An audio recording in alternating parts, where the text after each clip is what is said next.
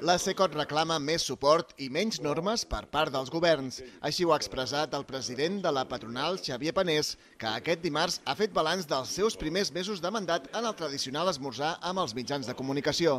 Després d'un 2022 marcat per la inflació econòmica, Panés demana a l'administració estabilitat política, pressupostària i normativa.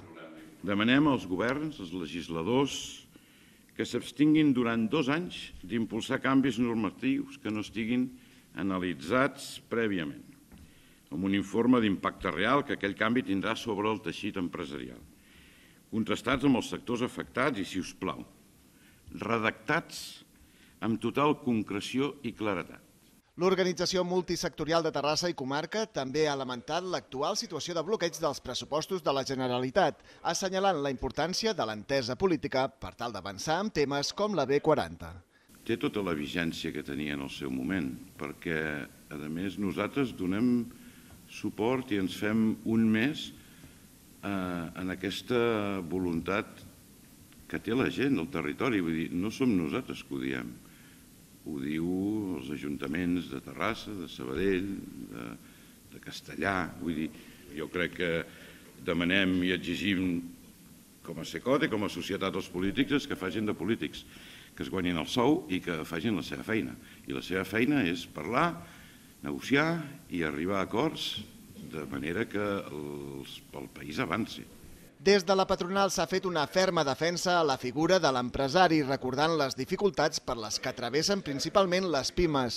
Cal tenir en compte que a Espanya un 98% de les companyies són petites i mitjanes empreses o negocis de treballadors autònoms.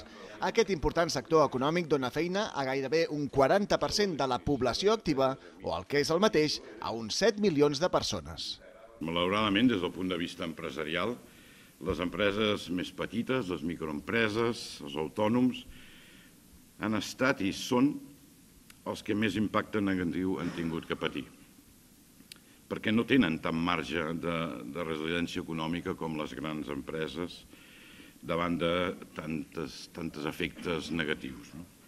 I és aquí, en aquesta franja, on la CECOT té tot el sentit i és d'on més hem reforçat el que hem fet durant aquest any, que és reforçar i ajudar aquestes empreses.